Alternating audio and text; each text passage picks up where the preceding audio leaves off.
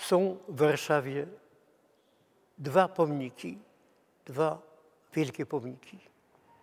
Pomnik powstania warszawskiego z roku, z sierpnia 1944 przy, na Placu Krasińskich jest pomnik powstania w getcie warszawskim Żydów, obywateli polskich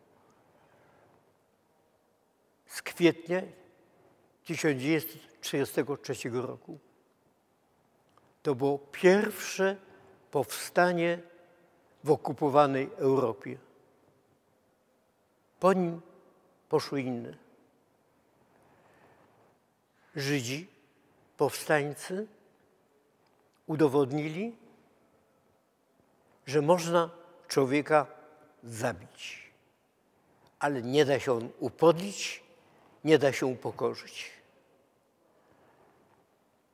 Jesteśmy z nimi solidarni. Chcemy przechować pamięć o nich. To byli nasi obywatele, nasi rodacy, nasi ziomkowie, mieszkańcy tej ziemi.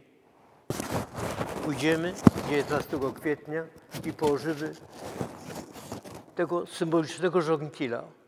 Kwiatek, który jeden z wielkich bojowników tego powstania, Marek Edelman, zwykł w każdą rocznicę przychodzić i składać sam w otoczeniu przyjaciół i młodzieży przed pomnikiem powstania w getcie.